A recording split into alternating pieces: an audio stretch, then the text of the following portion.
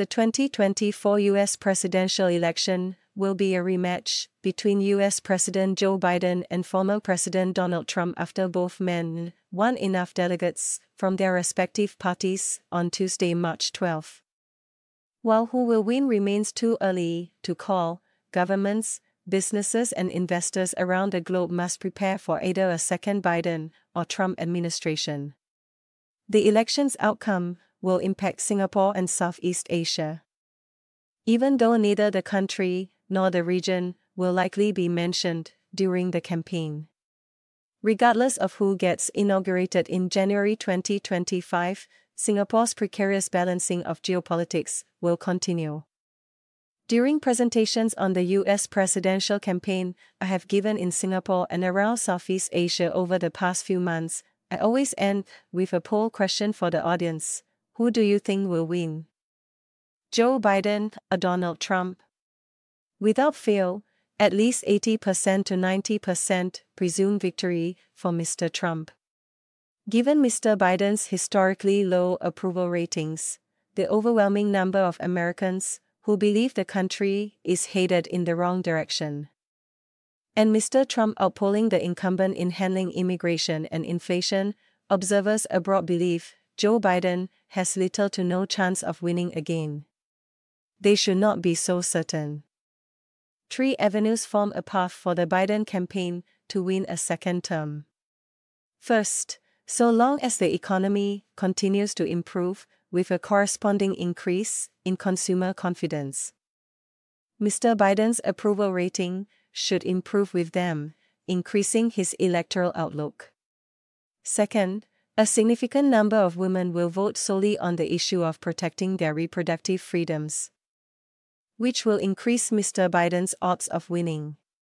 The Democrats have won outperformed in nearly every significant election since the Supreme Court eliminated the previous constitutional right to abortion through Trump appointed justices. As Mr. Biden said in his State of the Union address, those bragging about overturning Roe v. Wade have no clue about the power of women in America. Third, the Biden campaign wants this election to be less a referendum on the president's first term and more a choice on a second Trump term. Given his predecessor remains unpopular nationally as well. Trump's undisciplined call for cuts to Social Security are one such example of his making it easier for Biden to execute on that strategy. In the US, a return to power of Donald Trump would have significant consequences domestically. A Trump victory will result in efforts to root out the so called deep state of civil servants, impacting the U.S. government's ability to function as it does now. His planned harsh crackdown on immigration will cause domestic pain socially and economically, as will a pullback from international affairs and climate action. With global security risks more delicate than usual, there will be considerable impact on the rest of the world as well. A second Trump term would mean weakened commitment to Ukraine and a significant reduction of U.S. engagement in the North Atlantic Treaty Organization NATO. If the U.S. were to remain at all, the fallout from such a shift would hit Asia as well, with countries such as Japan and South Korea likely to seek their own nuclear weapons, which would impact their relations with China and could have a spillover effect regionally. In the Middle East, a Trump administration would be less likely to get involved in restraining Israel in its retribution against Hamas' October 7, 2023 attack, which the Biden administration has started to do more publicly. This could lead to further escalation of the conflict, which would directly affect Singapore's maritime industry. The imposition of 60% tariffs on China and 10% across the board, as Mr. Trump proposed, would have negative economic consequences for countries that trade with China or the US, basically every country in the region the Trump administration would again shift away from the incumbent administration's approach of working with partners and allies. exiting the Paris Climate Accords again and pulling out of the Indo Pacific Economic Framework, as it did with the Trans Pacific Partnership TPP, are two near certainties, which will have negative consequences on the climate crisis and global trade. From Singapore's perspective, a Biden or Trump 2.0 each brings challenges. The US is not new in having a penchant for unilateralism by putting America first and dealing with countries transactionally.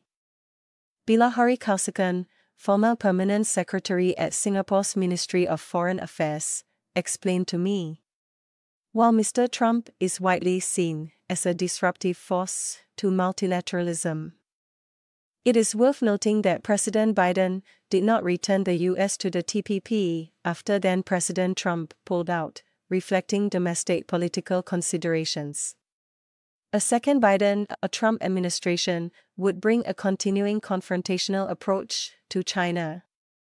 But predicting what Mr. Trump might do would be much more difficult.